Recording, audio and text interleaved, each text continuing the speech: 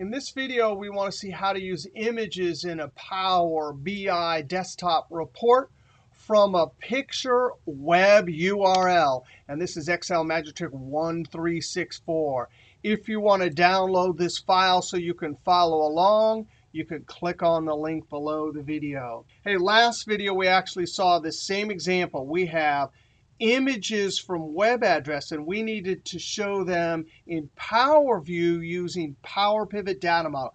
But in this video, we want to see how to do this in Power BI Desktop. Now, Power BI Desktop is a free download, which is like an all-in-one tool for data visualization. It contains Power Query, Power Pivot, and powerful visualization tools. Now, before I close this file, because this file actually has the source table we're going to import into Power BI Desktop, that's what the icon looks like. You have to go search Google, download Power BI Desktop, and then click this icon. I went ahead and clicked, and we'll open up Power BI Desktop. Now I'm going to Alt-Tab. I'm going to close this Excel file because we're going to use this as the source to import that table. Now over here in Power BI Desktop, this, in essence, is the dropdown for all that we do in Power Query over in Excel.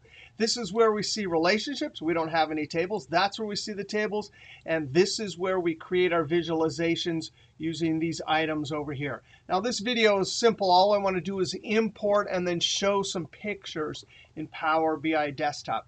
We're going to go to Get Data. And our data happens to be in Excel. I'm going to click Excel. And there's the file you should have downloaded. I'm going to double click this. Now, it shows us the different objects over in that Excel file. I only want the table. And the table has that blue line at the top. I'm going to click Edit. This will bring it into the Power Query Editor. Now, we don't really need to do anything here. All of the data types are fine for us. We actually will have to do something to suggested retail price and the web URL after we load it into the data model.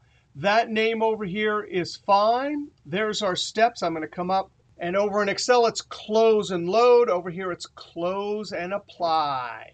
Now we can click on the relationships button. Well, we don't have multiple tables. Although in our next video, we'll have this same image table and lots of other tables, and we'll see how to do relationships. There's the table. We do need to do a couple of things. I need to click on suggested retail price. Over to modeling. And in formatting, I want to click the drop down and point to currency, English. Two decimals is fine.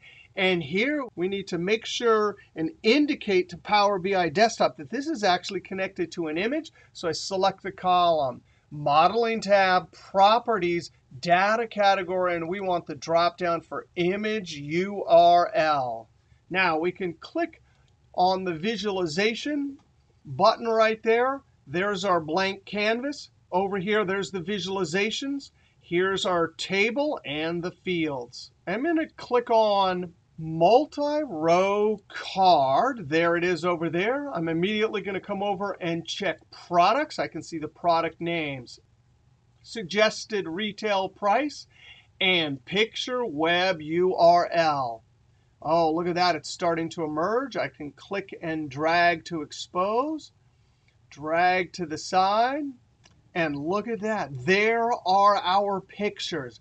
I'm going to click somewhere in the white and come over and get a slicer, clicking on the icon for slicer.